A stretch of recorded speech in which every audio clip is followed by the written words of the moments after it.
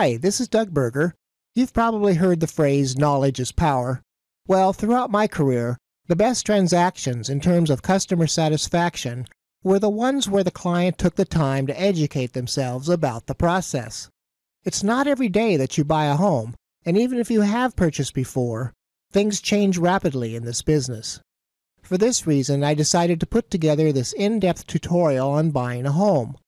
While practicality dictates that I can't teach you everything about the world I've lived in on a daily basis since 1978, this presentation is probably more comprehensive than any similar thing you may find on the internet. As such, you may want to break it up into sections in terms of learning sessions.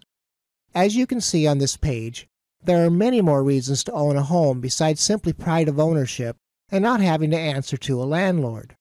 There are also a number of beneficial financial reasons. There are five distinct phases you go through when purchasing a home, and this is how I've broken up this tutorial. As you can see from this chart, phase 1 is to get educated. By watching and learning from this tutorial, you will be in a much better position to end up happy and satisfied with both the process and the end result. While it's tempting to jump right in and look at homes, it can actually do you more harm than good. Most of us tend to gravitate toward homes we can't afford. Then, when reality sets in, what we are looking at can be disappointing. Also, the better homes that are priced correctly tend to sell fairly quickly. If you haven't gone through the first two phases, you may see a home you're interested in but aren't really ready to make an offer on it. By the time you are ready, the home is gone. Don't set yourself up for disappointment. Learn the process and then move on to phase two, which covers the preliminary preparations you need to go through before starting to look at homes.